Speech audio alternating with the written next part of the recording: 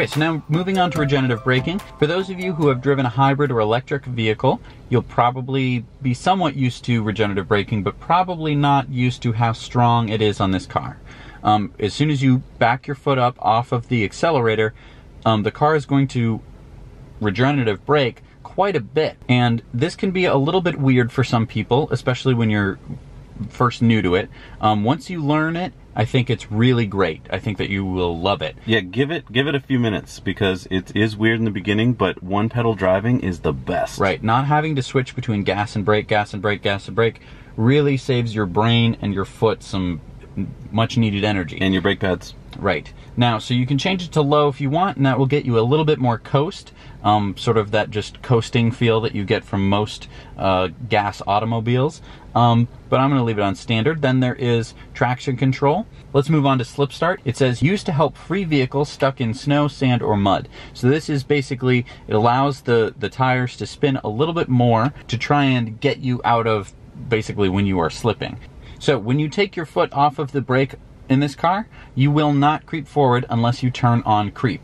This simulates having an automatic transmission vehicle which creeps forward um, when you take your foot off of the brake. Um, I like it off. Me too. It's, it's very nice to have absolute control over the vehicle.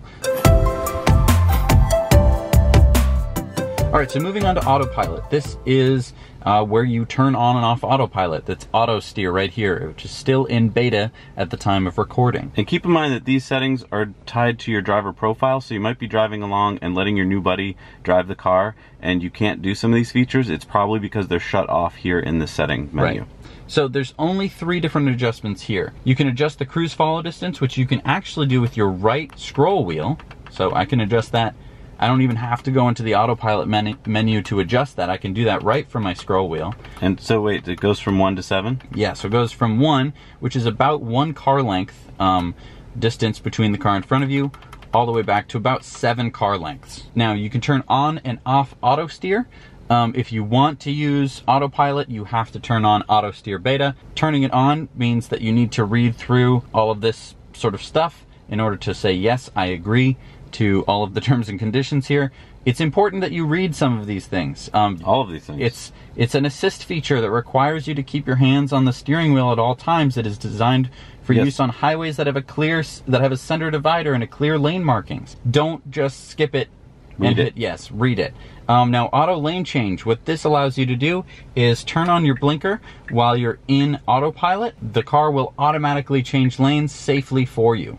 Um, really neat feature. So, but I do want to point out you should still you're still the driver of the car. Don't rely on the car to to safely change lanes. Yes, it has sensors, but you are at the moment better than those sensors. Right. Now, of course, there is the ever important uh, gear icon. So there's the speed limit warning. So what this will allow you to do is when you're driving, a little indicator here appears. It'll read all the street signs around you so it knows what the speed limit is. What this will allow you to do is it will make this a little bit bigger when you're going over the speed limit so that way you know that you're going over the speed limit um, to let you know. You can also change it to chime so that it'll actually make a noise when you're going over the speed limit. That could get annoying. Maybe you set it to display. It depends on where you live and what the rules are and everything like that. Now, autopilot speed limit can be either relative or absolute. So you can either set an absolute speed limit of say 50 miles an hour while you're in autopilot, or you can set it to relative to what the speed limit is, which means that you can go up to 20 miles an hour over the speed limit while still in autopilot. Now there are some speed limits in autopilot that are just general. Like you, I'm pretty sure you can't go over around 90 or 100 miles an hour. Moving on, forward collision warning. So this will give you um, an indication on whether you are going to hit something.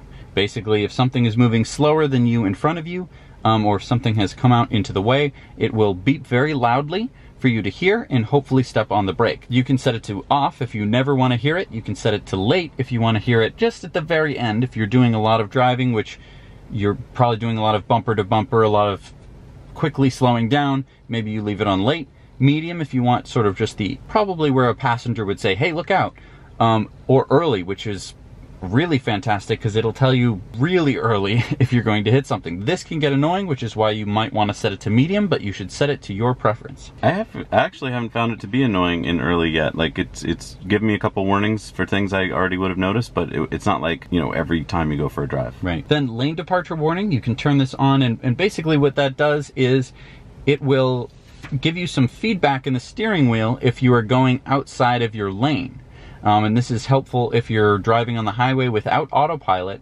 It will let you know that you are going outside of your lane. So even though this is in the autopilot section, this kind of relates to just general driving. Lastly, there's the automatic emergency braking, which is a wonderful safety feature of this car. I suggest you keep this turned on. What this means is that the car will automatically apply emergency brakes um, if it deems that you are going to get into a collision. Now, it doesn't necessarily prevent you from all collisions and all accidents, but it can drastically change the outcome of a collision if you were to have one. Slowing down from, say, 50 down to 25 miles an hour before you hit something is going to make a big difference in whether you survive that accident. So, I suggest you just keep that one on. So here we are in safety and security. Now right now I am in drive and what you'll notice is that I can turn on the parking brake from here. What this allows me to do is basically put the car in park. I guess if you've broken off the stock of your of your car, could be helpful, you never know. Um, you can also power off the vehicle. This is useful if you are, you know, going away for a long trip and you don't want as much vampire drain. You can power it off. Um, it takes a minute to reboot it, but basically nothing bad happens. Uh, let's get into the gear icon here. Uh, park assist chimes. So this is when you're uh, pulling into a spot. The car has ultrasonic sensors all over it, which means that it knows the distance between you and obstacles that, um, while you're parking.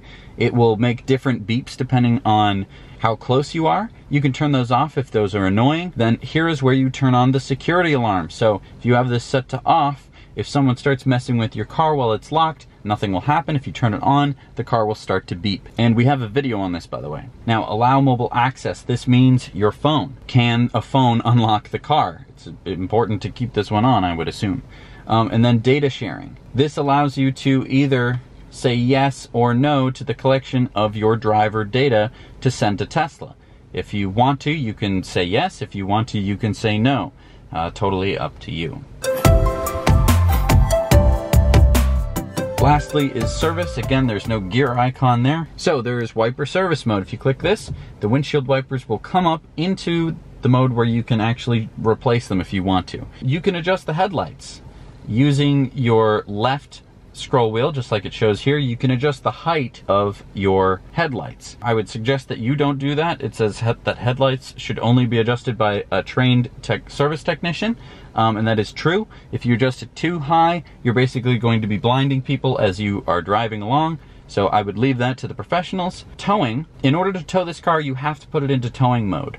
This basically allows it to be put on the back of a flatbed truck. And then you have access to your owner's manual, um, which can tell you everything about autopilot. So if this wasn't helpful, you can read up on your car from roadside assistance to maintenance to opening and closing doors and trunks and frunks and stuff like that. All of that can be found in the owner's manual. So that is every single menu in the Model 3 at the time of this recording, which is July 4th, 2018. Yes, yeah, so we have some bars here up at the top.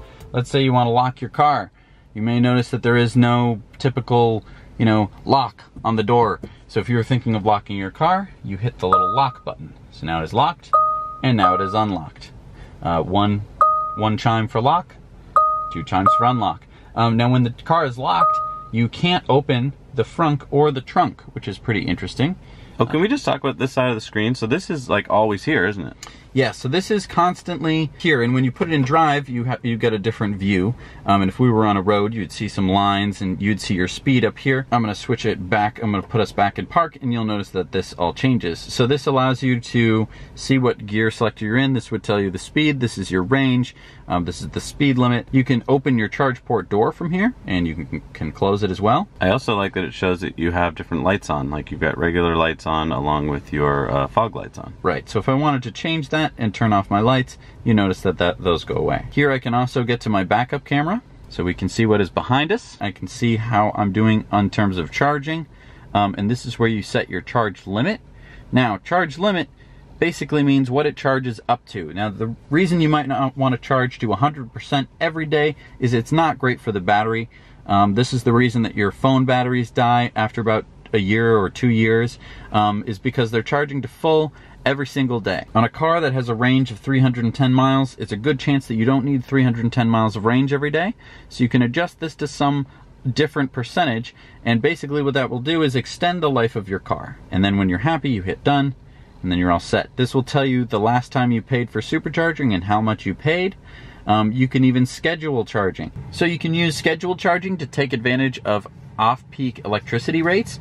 Um, and then you can do charge current so you can limit how fast you're charging your battery. I don't know really why you'd want to limit it, but maybe you want to really extend the life of your battery, make it last 100 years. Um, you could limit it down to, you know, an amp if you really wanted to. Last across this row here is the voice activation. So if your passenger wanted to say navigate to San Francisco, they could do that. Of course, you still have the option to uh, give voice commands just by clicking the right scroll wheel, navigate to Seattle, but the option is right there. This is the windshield wiper menu. Uh, we'll get more into that while we're driving. Um, if you scroll to the left, you'll notice that there are um, basically your trips. So your odometer is right here at the bottom. We've put almost 11,000 miles on this car. Um, it can tell you the distance you've traveled since the last charge, how much energy you've used, and your wattage per mile. You can set your own trips here. Instead of an A and a B, you can actually give it names um, and you can reset them.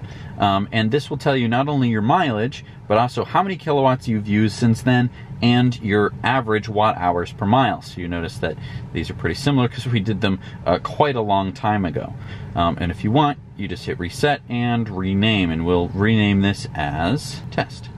This will allow you to track how efficiently you're driving. Um, I know a lot of cars usually just tell you how many miles you've traveled. Um, this will also give you your actual efficiency, which is super helpful. And if we scroll over here, you'll see your tire pressures, and we can see that more when we're driving. Last few things here, uh, there's a little house with an arrow in it. Uh, this is if you have a HomeLink, you know, it'll open the garage door for you um, from your car, which is pretty neat. You have the Bluetooth symbol, which is, allows you to connect to different phones. This tells you your LTE, which is, you know, how much cell service you're getting. You can hit the Tesla T gives you your VIN number as well as your mileage, and even opens up your Easter eggs. So if you wanted to, uh, you could put yourself on Mars. Um, and then if you want uh, it shows you the very cool BFR. If you want to get rid of it, you just hit the Mars again. You can also just hit the Earth icon as well, um, and that will bring you back to Earth. So that's my name. Uh, you can hit that and then change your driver profile, and that adjusts the steering wheel and the seat to other drivers of the car. So if you have other people who are going to be driving the car, maybe in your family, you can adjust it so that they have their own settings. Now you'll notice that this even adjusts the distance between the car in front of them. So this adjusts the autopilot settings, which is pretty cool. You can see the temperature here. Unfortunately, we can't adjust the outside temperature just by clicking on it. That'd be a cool update. Uh, and neither can you do that with the time. So that's, Is that coming? That's not coming. Unfortunately, you don't know if it's not coming. we don't know. But Time adjust. Time warp. Oh, and my favorite thing is that it always tells you where you are in the world at the bottom of the nav screen. Right, because sometimes you're driving through a town and you say, "Wow, what a beautiful town! What road am I on? What road am I on? In what town?" And it tells you exactly that. Um, this obviously opens up the menu. This opens up the music. This opens up the dialer, so you can actually call people, and it has all of the contacts on your phone. These two right here are your heated seat buttons. This adjusts the temperature and you can sync the temperature, you can desync the temperature. Say I want to be really hot for some reason. I really don't. Um, but you can sync the temperature to keep them the same. Now, if we hit this, we can adjust some of the climate setting. This goes to the windshield. This is sort of the direct to your face, and this is, you know, your feet. This button. Can you have any combination you want? Can you do feet? Like, can you do all three? You can do all three if you want, and it'll adjust the airflow accordingly. That's cool. You can adjust the speed up to 10. There's this here. Now, unfortunately, it doesn't just use a picture of your face, which would be cool, but you can adjust um, where the air is blowing from this menu right here. You yeah, can- and I can do it differently on my side. Right. Now you can either have a diffuse setting, which basically diffuses out all the air so that way it's not blowing directly in your face, or you can point in a very specific direction. And I do want to point out that you can also recirculate the air in the car, or you can have it bringing in outside air. And this controls the air in the back of the car. So you can turn on the rear AC if you want to, but for right now, since there's no one in the back seat, we'll turn it off. Oh, and then this is an important button. This allows you to adjust, again, the heated seats. So moving on, the last two are to deal with your front and rear windshields. So you can either blow cold air at your windshield or you can blow hot air at your windshield, which also turns everything to high. And you can turn on your rear defrost using that button as well. This allows the passenger to, to adjust the volume. So talk to me about over-the-air updates. So over-the-air updates allow the car to be updated and things on this screen change. Have the whole car change. Whole, have the whole car I mean, the, change. The braking can change. Updates work using either your cellular or now uh, Wi-Fi, which means that you can connect to your Wi-Fi router at home and and update the car through that. And you can get notified on your phone that the updates are waiting to happen, and you can let them happen through your phone. You can also let them happen through the car, and it'll ask you what time you want to install it. You can actually have it install it right now if you want. Um, if it says like update ready, would you like to install right now? And then just keep in mind that while it's updating, you can't drive the car. So make sure you're updating when it's appropriate. And that's it. That's everything that you can adjust inside the car from the screen. We've touched every single button that there is. So that's Well, except for this button, Jesse. This is the only button in the car that has a real physical button. Those are your hazards. That's because by law needs to have that. Um, also, I'll point out while I'm up here, this is how you turn on your dome lights. Thanks so much for watching Now You Know. We work hard to bring you videos about things that we think you'll find useful, but we need to know from you what you want to see, so leave your comments below. Also, don't forget to go over to our Patreon page, where for as little as a buck a month, you can watch our Patreon bonus story every week on Tesla Time News. Thanks again. We'll see you soon.